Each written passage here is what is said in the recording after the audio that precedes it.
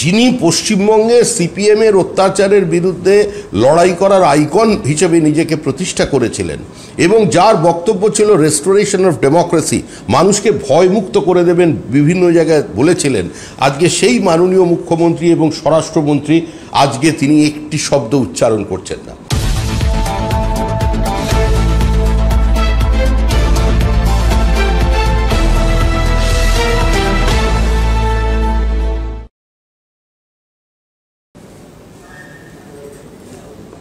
গোটা পঞ্চায়েত নির্বাচনকে রক্তাক্ত করে দেবার পরেও সকাল থেকে গণনা কেন্দ্রে বিভিন্ন ধরনের উত্তেজনা, হামলা, প্রার্থী, প্রার্থীর এজেন্ট, তাদের বেড়ে বার করে দেওয়া, সার্টিফিকেট ছিঁড়ে ফেলা, বিভিন্ন জায়গায় সার্টিফিকেট না ইস্যু করা, তারপরে একটা নতুন অভিনব, একটা অভিনব পন্থা উদ্ভাবন করেছে তৃণমূল কংগ্রেস। আমরা জানি যে নির্বাচনের সময় আগের দিন রাত্রে তৃণমূল কংগ্রেসের বহু স্থানীয় নেতা, তাদের ব্লকের নেতা, এমনকি কিছু জায়গায় বিধায়ক ইনভলভ থেকে ব্যালট পেপার নিয়ে যাওয়া হয়েছিল। কয়েক জায়গায় ব্যালট বাক্স নিয়ে গিয়ে ভোট করিয়ে তার উপরে সিল লাগিয়ে বসিয়ে দেওয়া হয়েছিল। সেটা আপনারা সংবাদ মাধ্যম, আপনাদের কল্যাণী পশ্চিমবঙ্গের মানুষজন জেনেছেন। কিন্তু এখন শুরু হলো, যেখানে মোটামুটিভাবে ভোট হলো, মানুষ প্রতিরোধ গড়ে তুললো। সেখানের ভিতরে দেখা যাচ্ছে কাউন্টিংয়ের সময় অন্ত, বিশেষ করে বিজেপির প্রার্থীর প্রাপ্ত ভোটের মধ্যে কোথাও পঁচাশি, কোথাও সত্তর, কোথাও একশো পঁয়ত্রিশ, এক্ষুনি রায়দিঘি থেকে একটা খবর হলো সাতানব্বই, সেখানে ব্যালট পেপারের পিছনে প্রিজাইডিং অফিসারের সই নেই। তাই জেতা বিজেপি প্রার্থীকে সরিয়ে দিয়ে সেখানে তৃণমূল প্রার্থীকে জয়ী ঘোষণা করে দেওয়া হচ্ছে। এটা শুধু কোনো বিচ্ছিন্ন ঘটনা নয়। এটা কোনো একটা জেলার ঘটনা নয়। এটা সর্বত্র। হাওড়ায় এই জিনিস ঘটেছে। নদিয়া ডিস্ট্রিক্টে এই জিনিস ঘটেছে। দক্ষিণ চব্বিশ পরগনায় হয়েছে। আলিপুর দুয়ারে হয়েছে। কুচবিহারে হয়েছে। মালদায় হয়েছে। বিভিন্ন জায়গায়। যে বুথে সে অর্থে কোনো দখলদারি হয়নি মানে দখলদারি হলেও তার সংখ্যা শাসক দল দশটা, পনেরোটা, পঞ্চাশটা হয়তো ভোট দিতে পেরেছে যারা ভোটা বহু জায়গায় এমন আছে, যারা ব্যালট পেপার নিয়ে আগের দিন রাত্রে চলে গেছে, কিন্তু পরের দিন সেখানে ভোট হয়ে যাওয়ার পরেও রিকাউন্ট মানে রিপোলের কোনো অর্ডার করা হয়নি। যেরকম পরিকল্পিতভাবে যেখানে কোনো ঝামেলারও সম্ভাবনা নেই, যেমন পূর্ব মেদিনীপুরে। নতুন রিপোল দিয়ে দেওয়া হলো। যেখানে কোনোভাবে জেতার কোনো সম্ভাবনা নেই। তৃণমূল কংগ্রেসের, বিজেপি এগিয়ে আছে। কোথাও পুরো, সেখানে, সেই বুথে কোনো ঝামেলার খবর কোনো জায়গায় ছিল না। কোনো দলের পক্ষ থেকে কেউ অভিযোগ করেনি। সেটাই সেখানে যেরকম রিপোল দেওয়া হয়েছে, আজকে এখানে আপাত শান্তিপূর্ণ বুথে শুধু বিজেপিরই ব্যালটের পিছনে সেখানে প্রিজাইডিং অফিসারের সই নেই বলে সেটাকে বাতিল করে দেওয়া হচ্ছে এটা হচ্ছে পন্থা নাম্বার এক। দ্বিতীয়, বহু আসনে দেখা যাচ্ছে টাই হয়েছে। এই টাই কীভাবে হচ্ছে এত আসনে? হতেও পারে এত নির্বাচন। আর এখনও পর্যন্ত বিজেপির কি এতই দুর্ভাগ্য যে একটা টাইয়ের একটা টসে বিজেপির কোনো প্রার্থী জিতলো না। বা বিজেপি ছাড়াও অন্য রাজনৈতিক দলও আছে যারা এই টাইয়ের চক্রান্তের শিকার।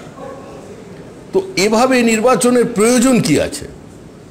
যে অসুরকে বসিয়ে দিয়েছেন আগে থেকে ঘোষণা করে দিতে পারতো যে নির্বাচনের আর কোনো প্রয়োজন নেই, তৃণমূলকেই জয়ী বলে ঘোষণা করলাম।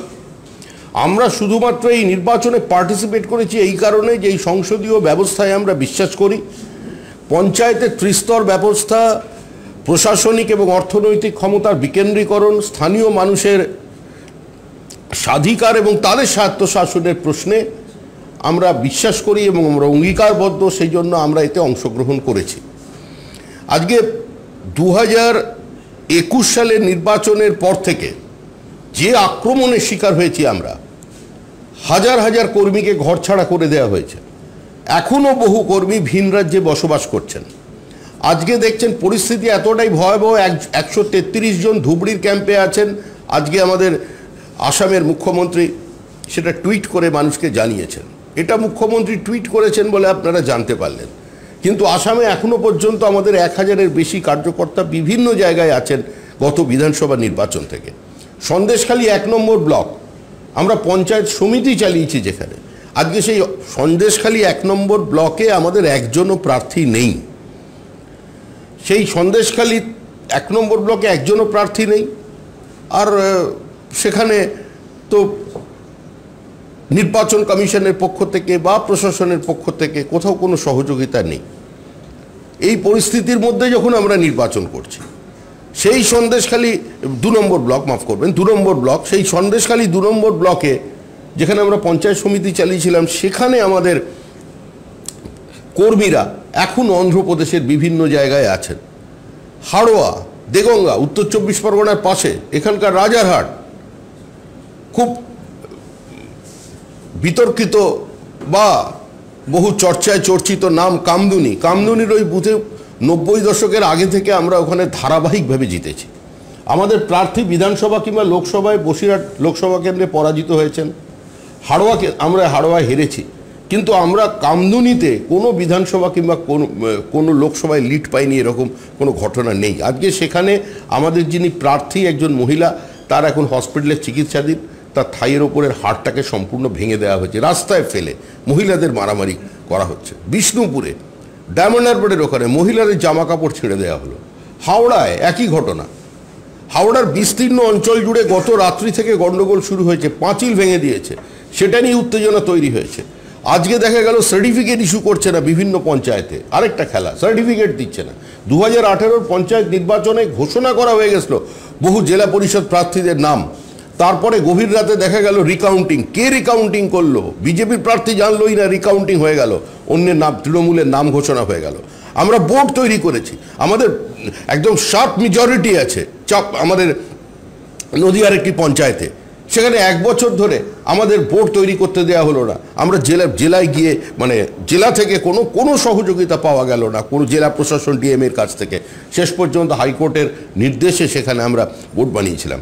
কিন্তু যারা বলছেন দু হাজার আঠেরো থেকে দু হাজার তেইশের মধ্যে, হয়তো গুণগত পার্থক্য একটাই হয়েছে তৃণমূলের স্টাইল অফ ফাংশনিংয়ে সেটা হয়েছে যত বিরোধী শূন্য তারা করতে পেরেছিলেন কুড়ি হাজার আসনে, সেটা এখানে করতে পারেনি। সেটাকে পুষিয়ে দেওয়া হচ্ছে এইভাবে যে সম্পূর্ণ পুলিশ দিয়ে আজকে বিভিন্ন গণনা কেন্দ্রে তাণ্ডব চালানো হচ্ছে। তারপরেও মানুষ যে পশ্চিমবঙ্গের তৃণমূলকে, কংগ্রেসকে সরাবার জন্য জোটবদ্ধ হচ্ছেন মানুষ যে প্রতিরোধ গড়ে তুলছে, যে ফলাফল এত প্রতিকূল অবস্থার মধ্যেও আসছে, সেটা কিন্তু তার একটা আংশিক প্রতিফলন আজকের এই ভোটের, যদিও এই ফলাফলের উপরে কোনো আস্থা নেই, আমাদের বিশ্বাসই নেই এই ফলাফলে, প্রাপ্ত ভোটের শতাংশই হোক আর আসন সংখ্যাই হোক, যে কোনো দলেরই হোক, এটা কোনো নির্বাচনী ফলাফল নয়। ধারাবাহিকভাবে বিভিন্ন জায়গায় সার্টিফিকেট ছিঁড়ে ফেলা, এটা কোন ধরনের? এবং হচ্ছে পুলিশের সামনে, পুলিশের সহযোগিতায় হচ্ছে। আজকে যেখানে দেখছে কোনো পঞ্চায়েতে জেতার পরেই সেখানে বিরোধীরা যারা জিতছে তারা আক্রমণের লক্ষ্য করে নিচ্ছে পুলিশকে। এতটাই ক্ষোভ। আজকে এটা কোনো সুস্থ, স্বাভাবিক কোনো গণতান্ত্রিক রাষ্ট্রে এটা কি সম্ভব? আজকে এই দৃশ্য দেখছেন যে পুলিশ কীভাবে দৌড়চ্ছে মানুষের তাড়াকে। কারণ এ রাজ্যে পুলিশ এবং শাসক দলের মধ্যে কোনো পার্থক্য নেই। বাম জমানাতেও আমরা দেখেছি যে পুলিশকে দলীয় স্বার্থে ব্যবহার করা হয়েছে। স্বয়ং মুখ্যমন্ত্রী জ্যোতি বসু হোমগার্ডের মিটিংয়ে বক্তব্য রেখেছিলেন বলে তদানীন্তন বিরোধী আমরাও ছিলাম। তৃণমূল কংগ্রেস কংগ্রেস সবাই তার প্রতিবাদ করেছিলেন, সমালোচনা হয়েছিল। কিন্তু এ তো অভিনব পদ্ধতি। বিভিন্ন জায়গায় সিভিক ভলেন্টিয়ার্সরা পুলিশের জামা পরে তারা পুরো নির্বাচনটা অংশগ্রহণ করল।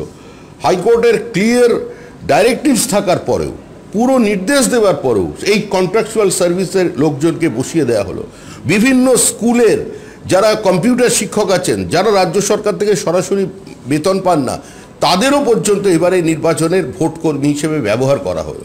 কিছু জায়গায় ভোট কর্মীরা বহু জায়গায় আছে তারা নিজেদের পরিবারের নিরাপত্তার কারণে, নিজেদের প্রাণ সংশয়ের কারণে আজকে তারা চুপচাপ বসে সেখানে নীরব দর্শকের ভূমিকা পালন করলেন।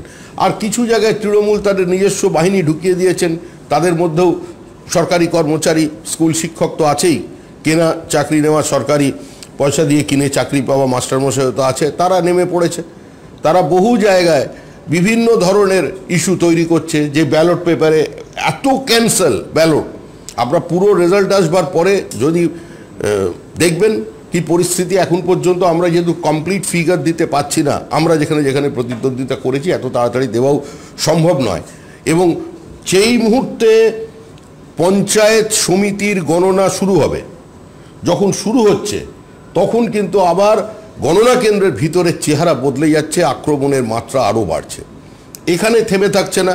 এরপরে নতুনভাবে তৃণমূল কংগ্রেস গ্রামে গ্রামে এর মধ্যে জিতে, যেখানে লড়াই হয়েছে, তৃণমূল কংগ্রেস জিতেছে, যে কোনোভাবেই তাদের দখলদারি কায়েম করেছে। সেখানে এর মধ্যেই তাদের উল্লাস থ্রেট রাত্রিবেলা দেখে নেব, শুরু হয়ে গেছে। এই একটা পরিস্থিতি যে তৈরি হয়েছে, এখানে কার্যত আইনের শাসন আজ আর নেই। পশ্চিমবঙ্গের পুরো গ্রামাঞ্চলের মানুষ আজকে নিরাপত্তাহীনতায় ভুগছে। যারা বিরোধী দলের নেতা, সক্রিয় রাজনৈতিক কর্মী, যাদের মানুষজন চেনে, আমি শুধুমাত্র তাদের কথা বলছি না, যাদের বোঝা যাচ্ছে যে এবার সরকারি নীতি সিদ্ধান্তের তারা বিরোধিতা করেছেন এবং তৃণমূল কংগ্রেসের বিরুদ্ধে তাদের রায় গেছে, আজকে তাদেরও জীবন সংশয় দেখা দিয়েছে। মহামান্য রাজ্যপাল, তিনি কবিতা বলেছেন। মহামান্য রাজ্য মহিম রাজ্যপাল, তিনি বিভিন্ন জায়গায় ঘুরে দেখেছেন, স্পর্শ করার চেষ্টা করেছেন পশ্চিমবঙ্গের প্রকৃত পরিস্থিতিটা কি, এখানে গণতন্ত্র নামক বস্তুটি আছে সেটা বোঝার চেষ্টা করেছেন। তিনি বিভিন্ন সময়ে রামের চন্দ্রের উদাহরণ দিচ্ছেন, কিন্তু এই মুহূর্তে পশ্চিমবঙ্গের মানুষ কিন্তু এই উদাহরণগুলো বা এ ধরনের শব্দবন্ধ খুব একটা শুনতে আগ্রহী হচ্ছে না। যে পরিস্থিতি রাজ্যের তৈরি হয়েছে, আমরা আমাদের লোকজন খুন হয়েছে। আমরা অনেক ভারাক্রান্ত হৃদয়ে এই নির্বাচন লড়েছি। অন্যান্য রাজনৈতিক বা এখনও লড়ে চলেছি, আমাদের কর্মীরা ভিতরে লড়াই করছেন। এখনও লড়ে চলেছি এই কারণে, কারণ অন্যান্য বিরোধী রাজনৈতিক দলের সঙ্গে আমাদের অবস্থানগত একটা পার্থক্য আছে। দু তেরো সালে যে নির্বাচন হয়েছিল, পঞ্চায়েত নির্বাচন, সেই নির্বাচনে অস্বীকার করবার কোনো জায়গা নেই। সেই নির্বাচনে বিজেপির থেকে বামপন্থীরা এবং কংগ্রেসিরা তৃণমূলের আক্রমণের শিকার হয়েছিল। দু হাজার যে নির্বাচন, সেই নির্বাচনও অপেক্ষাকৃত কম অপেক্ষাকৃত কম আমাদের উপরে আঘাত এসেছিল। কিন্তু দু হাজার উনিশের লোকসভা নির্বাচনের পর এবং বিশেষ করে দু হাজার একুশ সালে যখন পশ্চিমবঙ্গের মানুষ একটি বাইনারি নির্দিষ্ট করে দিলেন বিজেপি এবং তৃণমূলের মধ্যে মেরুকরণটাকে স্পষ্ট করে দিলেন মানুষ তাদের মত প্রয়োগ করে। তারপর থেকে যে আক্রমণের শিকার আমরা হয়েছি। আমাদের একশো আটত্রিশ জন কর্মী খুন হয়ে গেছে দোসরা মে থেকে। বিভিন্ন সময় তুচ্ছতাচ্ছিল্য করা হয়েছে। পারিবারিক অশান্তি, বিবাহী, বিবাহ বহির্ভূত সম্পর্ক, পরকীয়া প্রেম, মানসিক অবসাদ ঋণের ঋণের দায়ে জর্জরিত, পারিবারিক অশান্তি, বিভিন্ন শব্দবন্ধের মধ্যে দিয়ে এ রাজ্যে খুন চলেছে। এবং যেখানে নির্বাচনের খুনের পরেও নির্বাচন কমিশন কোনো শব্দ উচ্চারণ করেন না। এবং এতগুলো মানুষ মারা যাওয়ার পরও আজকে যখন গণনা কেন্দ্রে ধারাবাহিকভাবে এই ঘটনা ঘটছে যিনি পশ্চিমবঙ্গে সিপিএমের অত্যাচারের বিরুদ্ধে লড়াই করার আইকন হিসেবে নিজেকে প্রতিষ্ঠা করেছিলেন এবং যার বক্তব্য ছিল রেস্টোরেশন অফ ডেমোক্রেসি মানুষকে ভয়মুক্ত করে দেবেন বিভিন্ন জায়গায় বলেছিলেন। আজকে সেই মাননীয় মুখ্যমন্ত্রী এবং স্বরাষ্ট্রমন্ত্রী আজকে তিনি একটি শব্দ উচ্চারণ করছেন না। গত চার দিন ধরে মুখ্যমন্ত্রীর আমরা শারীরিক সুস্থতা কামনা করি। তিনি যেরকমই থাকুন, ভালো থাকুন। কিন্তু দুর্ভাগ্যের বিষয় এটাই যে নির্বাচন কমিশন এতগুলো মৃত্যুর পরে বলল যে কে কোথায় কাকে গুলি করবে সেটা কমিশনের জানার কথা নয়। যদি কেউ মারা যায়, তার দাবা যা, যদি কোনো ঘটনা ঘটে সেটা দেখার দায়িত্ব হচ্ছে রাজ্য পুলিশের। এই অসুরকে যখন তিনি খুব মানে চিন্তা করে খুব ভালোবেসে এবং তার উপরে সম্পূর্ণ আস্থা রেখে যে তিনি তার দলের এজেন্ডাকে সম্পূর্ণভাবে বাস্তবায়িত করবেন বলে রাজ্যপালের কাছে পাঠিয়েছিলেন এবং রাজ্যপালের স্বাক্ষরের মধ্যে দিয়ে যিনি কমিশনার হয়েছিলেন, আজকে সেই কমিশনারের এই উক্তি তো সরাসরি তিনি বল দিয়ে দিয়েছিলেন মুখ্যমন্ত্রীর কোর্টে। কিন্তু এতগুলো মৃত্যুর পরেও, আজকে গণনা কেন্দ্রেও এই সংঘর্ষের পরেও মুখ্যমন্ত্রী এখনও পর্যন্ত নীরব আছেন। আমরা মুখ্যমন্ত্রীর কোনো বিবৃতি দাবি করছি না, কারণ আমরা জানি তৃণমূল কংগ্রেসের কাছ থেকে বা তৃণমূল কংগ্রেসের যে রাজনৈতিক দর্শনে বা যে ভোট সংস্কৃতিতে বিশ্বাস করে, তাদের কাছ থেকে কোনো মানবিক মুখ প্রত্যাশিত নয়। কিন্তু এই যে পদ্ধতিতে চলছে, আমরা এর মধ্যে আছি এবং আমরা মনে করি যে এ রাজ্যে এই মুহূর্তে এই সরকারের আর থাকার কোনো রাজনৈতিক কিংবা নৈতিক অধিকার নেই। ব্যাস। দিকে দিকে বিজেপির নেতা তাদেরকে ঘিরে চোর চোর স্লোগান দেওয়া হচ্ছে। কেশিয়ারিতে দিলীপ ঘোষকে ঘিরে চোর চোর স্লোগান। পুরসুরায় বিমান ঘোষ, গোঘাটে বিশ্বনাথ কারক, এমএলএদের, বিজেপি এমএলএদের যেখানে দেখা হচ্ছে, সেখানে চোর চোর স্লোগান দিচ্ছে তৃণমূল কংগ্রেস। এই তো অত্যন্ত স্বাভাবিক, এটাই প্রত্যাশিত ছিল।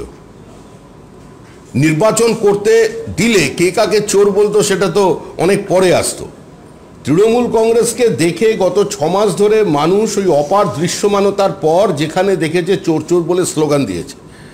সেটা ছিল সম্পূর্ণভাবে সমাজ থেকে একটা প্রতিক্রিয়া এসেছিল। সেটা বিজেপির স্লোগান ছিল না। আজকে তৃণমূল কংগ্রেস এতদিন ধরে এটা হজম করেছে। এবার নির্বাচন কমিশনকে দিয়ে পুলিশকে কাজে লাগিয়ে তারা দখলদারিতে সফল হয়েছে। তারা এই যে নির্বাচন তারা চাইতো, সেই নির্বাচন তারা করতে পেরেছে। আর তার ফলাফল দেখে এখন বিজেপিকে দেখে পুরনো কথা ফিরিয়ে দিচ্ছেন। সেখানে স্বজনহারা পরিবারের তিন সদস্যকে গ্রাম পঞ্চায়েতে প্রার্থী করেছিল বিজেপি। তার মধ্যে দুজনেরই পরাজয় তৃণমূল বকটুইতেও ঘাস করবে এই ঘটনার পরে দেখুন বকটুইয়ের যে ঘটনা ছিল, সেটা ছিল তৃণমূল এবং তৃণমূলের সংঘর্ষ। তারা একটা প্রতিবাদ রেজিস্টার করবার জন্য বিজেপির কাছে এসেছিল, বিজেপি তাদের প্রার্থী করেছে। বকটুইয়ে তো বিজেপির সেই অর্থে কোনো সংগঠন, সে ধরনের মজবুত কোনো সংগঠন ছিল না। কিন্তু এটা পঞ্চায়েত নির্বাচন প্রত্যেক মানুষের আবেগ এবং তার ইচ্ছার একটা মর্যাদা দিতে হয়। তারা আমাদের কাছে এসেছিলেন তারা বলেছেন আমরা এই তৃণমূলের দখলদারির বিরুদ্ধে প্রতিবাদ জানাতে চাই। তারা প্রার্থী হয়েছেন। আর যেখানের এই ঘটনা সেখানে অনেক কিছু বিষয় আছে যেগুলো আমার পক্ষে বলা এখানে সম্ভব নয়। সবিতা নন্দীগ্রামে প্রার্থী বাছাই ঠিক না হওয়ায় খারাপ ফল হয়েছে দাবি শেখ সুফিয়ানের। নন্দীগ্রামে প্রার্থী বাছাই ঠিক না হওয়ায় এ নিয়ে আমাদের কিছু বলার নেই আমাদের একটাই বক্তব্য আছে যে দোসরা মে দু হাজার একুশ সালে ওখানে ভেত- গণনা কেন্দ্রের ভেতরে আলোটা জ্বলেছিল লোডশেডিং হয়নি।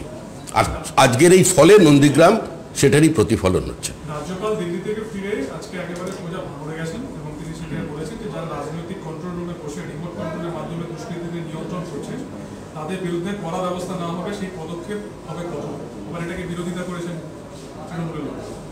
দেখুন, রাজ্যপালের পক্ষে বা রাজ্যপালের বিপক্ষে মানুষ মতামত দিতে পারে। রাজ্যপাল তো আমাদের এখানে প্রতিনিধিত্ব করছেন না। রাজ্যপাল সামগ্রিক পরিস্থিতিটা দেখলেন। রাজ্যপাল যেগুলো বলছেন, ওগুলো পশ্চিমবঙ্গের মানুষ জানে এবং পশ্চিমবঙ্গের মানুষ এই কথাটা বলতে চায়। হয়তো তাদের ক্ষেত্রে সেটা সমর্থক সিননিমাস হতে পারে, কিন্তু আসল জিনিস হচ্ছে মানুষ দেখতে চায়। মানুষ অ্যাকশন চায়, মানুষ দেখতে চায়। যে রাজ্যপাল যখন দেখছেন যে এখানে আইনের শাসন নেই, রাজ্যপাল যখন দেখছেন যে যাদের শান্তি শৃঙ্খলা রক্ষা করবার দায়িত্ব তারা রিমোট কন্ট্রোলে পুরো সন্ত্রাসকে পরিচালিত করছে, রাজ্যপাল যখন দেখছেন যে সংবিধান আক্রান্ত, যুক্তরাষ্ট্রীয় ব্যবস্থাকে অস্বীকার করা হচ্ছে, রাজ্যপাল যখন দেখছেন তার অস্তিত্বকে পর্যন্ত চ্যালেঞ্জ করে দিচ্ছে, তাহলে সেটা কি মানে total breakdown of constitutional machinery নয়? ইন্টারনাল ডিস্টারবেন্স নয়? তো সেক্ষেত্রে রাজ্যপাল কি করবেন? কি করা উচিত? সেটা রাজ্যপাল করুন। আমরা তো এখানে দর্শক মাত্র। আমরা রাজ্যপাল, এটা তো কংগ্রেস শাসিত রাজ্য নয়। বিজেপি নীতিগতভাবে কোনো নির্বাচিত সরকারকে ফেলে দেওয়ার বিরোধী। কিন্তু এ রাজ্যে এই মুহূর্তে আভ্যন্তরীণ যে বিশৃঙ্খলা তৈরি হয়েছে, যেটা সম্পূর্ণভাবেই পুলিশের নিয়ন্ত্রণে নেই। আমরা তো বলছি, আমরা ভারাক্রান্ত হয়ে নির্বাচন লড়েছি এবং আশঙ্কা আছে, আমরা এটাই আছি যে আমাদের এতগুলো কর্মী গ্রামে তারা তারা, তাদের কি হবে? তাদের নিরাপত্তা কি হবে? এবং রাজ্যপাল যখন বুঝতে পারছেন তাদের নিরাপত্তা তিনি দিতে পারবেন না, কারণ এই প্রশাসনের উপর নির্ভর করতে হবে, তাহলে রাজ্যপাল কি ব্যবস্থা নেবে? সেই ব্যবস্থা নিক, তারপরে আমরা কথা বলব।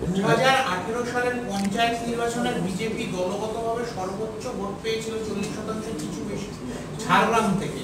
এবং পরবর্তী যে নির্বাচনগুলো দু হাজার উনিশ হতে পারে, একুশ হতে পারে, ঝাড়গ্রাম, আলিপুরদুয়ার, জলপাইগুড়ি বাঁকুড়া পুরুলিয়ায় বিজেপি বরাবর ভালো ফল করেছিল দু হাজার একুশেও করেছিল আজকে পঞ্চায়েত নির্বাচনে গ্রাম পঞ্চায়েত স্তরে এখনও পর্যন্ত যা ফলাফল দেখা যাচ্ছে এই সবকটা জেলায় বিজেপি প্রায় প্রান্তিক শক্তিতে পরিণত হয়েছে। যে কি এমন ঘটলো এখান থেকে কোনো অভিযোগও আসেনি সেই অর্থে।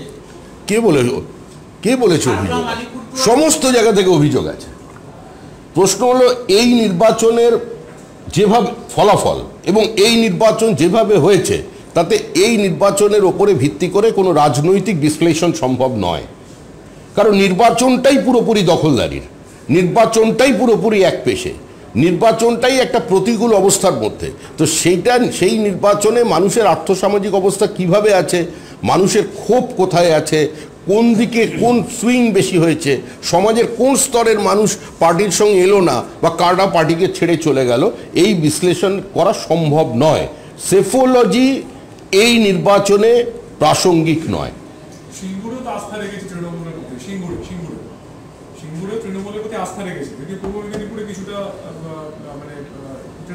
মানে যেখানে মানুষ প্রতিরোধ গড়ে তুলতে পেরেছে সেখানেই অনাস্থা হয়ে গেছে।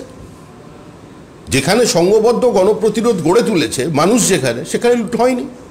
যেমন জ্যাংড়া হাতিয়ারের এ পাশে কিছু জায়গায় সংঘবদ্ধ হয়ে মহিলারা নেমেছিলেন আজকে দেখুন সেখানে বিজেপি তিনটে সিট পেয়েছে, অথচ একদম আমাদের রাজারহাটের লাগোয়া যে লুট হয়েছে, একই একই পঞ্চায়েতের মধ্যে এদিকে যে ঘটনাগুলো ঘটেছে, সেখানে সেই প্রতিরোধ তৈরি হয়নি, সেখানে তৃণমূল জিতেছে। আজকে ভিতরে একজন মহিলা প্রার্থী আছেন, গ্রামীণ মহিলা, একদম প্রান্তিক পরিবারের একজন মহিলা নির্বাচনে প্রতিদ্বন্দ্বিতা করছেন। তিনি ছিয়াশি ভোটে জিতলেন। একা মহিলাকে পেয়ে বিডি, ভেতরে ভোটকর্মী সহ সমস্ত তাকে ঘিরে ফেলে। তৃণমূলের লোকজন ভেতর থেকেই অনেক বেশি আছে। আর এখন বিধায়ক, এমএলএরা সবাই কাউন্টিং স্টেশনে ঢুকে পড়েছেন। কীভাবে ঢুকলো, কেন ঢুকলো জানা নেই। আর আমাদের এখানে সাংসদ যিনি জগন্নাথ সরকার, তিনি আক্রান্ত হলেন। লকেট চ্যাটার্জিকে বাধা দেওয়া হলো। আমাদের চন্দনা বাউরি শালতোড়া, তাকে তার দুটো গাড়ি ভাঙচুর করা হলো। এগুলো তো চলছে। কিন্তু তারা ভিতরে ঢুকে পড়েছে। তাদের সামনে কি প্রতিরোধ করবেন একজন অসহায় মহিলা? তাকে জিতিয়ে দেওয়া হচ্ছে। উত্তরবঙ্গেও এবারে ভালো ফল করেছে তৃণমূল যেটা বিজেপির গড় ছিল উত্তরবঙ্গে হুম। সার্বিকভাবে। কি বলবেন? আমরা তো আবার বলছি এই নির্বাচন জনমানুষের প্রকৃত প্রতিফলন নয়। এত খুন এত রক্তস্নান এত সমালোচনার পরেও এত খবরের কাগজের নিরপেক্ষ সংবাদ মাধ্যমের ব্যানার হেডলাইনের পরেও যদি আজকে ভালো খারাপ ফলের হিসাবের পার্থক্য করতে হয় সেটা দুর্ভাগ্যজনক হবে। মানুষ দু সালে নির্বাচনে আজকের নির্বাচনের ফলাফলের বদলা নিয়ে নেবে। শিউলি সেই দণ্ডিকাটা মহিলা তৃণমূলে ফিরে টিকিট পেলেন এবং জয়লাভ করলেন। দণ্ডি কেটেছিলেন যে মহিলা তপনে শিউলি মার্ডি তিনিও জয়লাভ পেলেন তৃণমূল কংগ্রেসের টিকিটে। সেটা তো পাওয়া স্বাভাবিকই।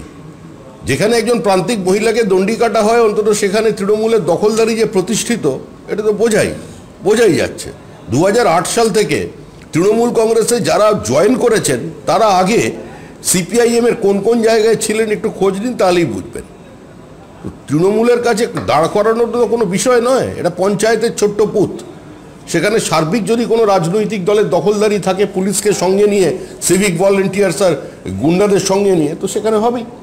শাসক দল বলছে যে গতবারের থেকেও বিজেপি এবারে আরও খারাপ রেজাল্ট করেছে এবং আগামী দিনে কার্যত মানে আরও সিট কমবে এবং কার্যত নিঃশেষ হয়ে যাবে। হুম? শাসক দলের তরফ থেকে যেটা বলা হচ্ছে যে গতবার থেকে এইবারের ইলেকশনে বিজেপি খুবই খারাপ রেজাল্ট করেছে এবং আগামী দিনে বিজেপি বলে কিছু থাকবে না। কি প্রতিক্রিয়া? আগামী যে নির্বাচন আসছে স্বপ্ন দেখা ভালো। শরীর মন দুটোই ভালো থাকে। প্রতি লোকসভা নির্বাচনের আগেই তৃণমূল ধরনের কথা বলে। প্রথমে বলে, আমাদেরই হবে প্রধানমন্ত্রী। তারপরে বলে, কয়েক মাস এগিয়ে এলে বলে, আমরাই হব চালিকা শক্তি। আর তারপরে যখন ভোট একদম এসে যায়, তখন যে যেখানে দাঁড়িয়ে, এটুকু নিশ্চিত যে আমরা দুটো আসন রেখে দিয়েছি। মুখ্যমন্ত্রী যাতে বসতে বা চলতে কোনো অসুবিধা না হয় দু হাজার চব্বিশ সালের পনেরোই আগস্ট একদম লালকেল্লার সামনে দুটো আসন তৃণমূল কংগ্রেসের জন্য দর্শক আসন সংরক্ষিত অশোকনগরে ভো- ভোট গণনার সময় তৃণমূল প্রার্থী পিছিয়ে আছে বলে তৃণমূলের যিনি প্রার্থী ছিলেন ব্যালট খেয়ে ফেললেন এটাই তো তৃণমূল এগিয়ে বাংলা। এটাই তৃণমূল। এটা তৃণমূলই করতে পারে যার জন্যই মুখ্যমন্ত্রী বলেছেন এরকম দল আগে কোনো দিন আসেনি এরকম সরকার আগে কোনো দিন আসেনি কোনো দেশেও আসেনি পৃথিবীতেও নেই।